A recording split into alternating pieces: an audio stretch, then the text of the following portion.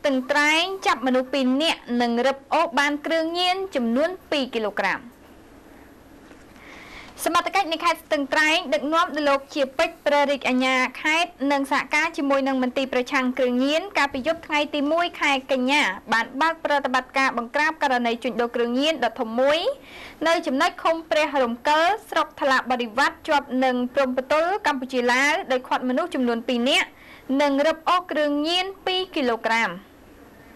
ជនសង្ស័យទាំងពីរនាក់នោះត្រូវគេឲ្យដឹងថាទី1គឺមានឈ្មោះឡុងចន្ទ្រីហៅណយអាយុ29ឆ្នាំមានទីលំនៅភូមិលើឃុំព្រះរំកិលស្រុកថ្លាបរិវត្តខេត្តស្ទឹងត្រែង ទី2ឈ្មោះជូសាវឿនអាយុ53ឆ្នាំ មានទីលំនៅផ្ទះលេខ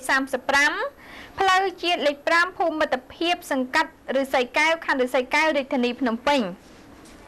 ក្រោយការបង្ក្រាប និងចាប់ខ្លួនជនសង្ស័យទាំងពីរនាក់ត្រូវបានយកទៅសួរនាំដើម្បីតាមចាប់បពួកនិងកសាងសំណុំរឿងបញ្ជូនទៅកាន់តុលាការចាត់ការទៅតាមនីតិវិធី។